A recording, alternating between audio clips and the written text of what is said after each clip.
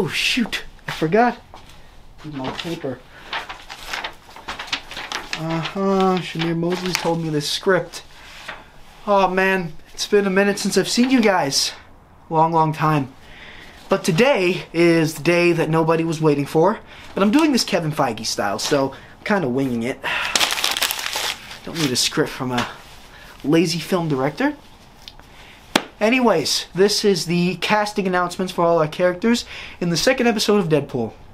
Still working on the title. Kind of, kind of bland. Don't want to go that fridge route. But first, we're going to be bringing back everybody's favorite character, Spider Bob. That's played by Eddie Gamer. I'm not saying his whole name. Nobody really wants to hear that anyway. But our favorite web slinging D press Mary Jane debunker is back, and he is going to be getting a little bit of an upgrade in the CGI VFX, of course. But other than that, he's pretty much the same. Lazy old Spider Bob working at a taco stand.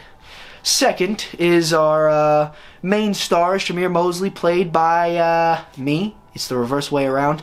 He doesn't play me, I play him. Surprisingly, he actually does it in his sleep, but nobody wants you to know that.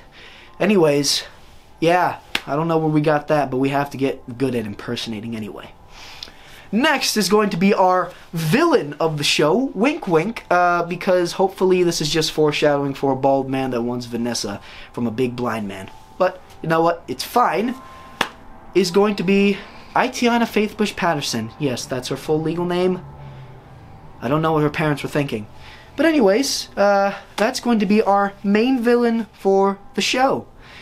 Uh, she is going to be an ex love interest and blah blah blah blah blah. Boring script. Bop bop bop. Uh, our next one is going to be a little bit of a supporting role here, but we're going to be having someone that's playing Matt Murdock. We're gonna just name him Michael S for now. Don't want to release any too many details, and I'm not really going to say too much about the character. But yes, Michael S. He is going to be our main main foreshadowing for the next few films that we're doing. But most importantly, our Wolverine casting is going to be John Seb. I'm sorry, what? Oh, you have to be kidding me. This guy literally looks like Al Bowman if he was younger. Seriously, boss baby face, I mean? Who designed this? I. I. Uh, whatever. At least you'll have the bulk of Wolverine and maybe the charm. But this guy looks like he does like 15 vampire shows and then thirst traps himself on Instagram and thinks that a fan did it. But we all know you did it, John. But yes, he's going to be our Wolverine, our main pal in the next film.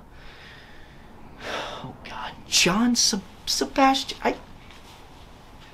Uh, whatever. But anyways, um, it's great seeing you all. Really, really is.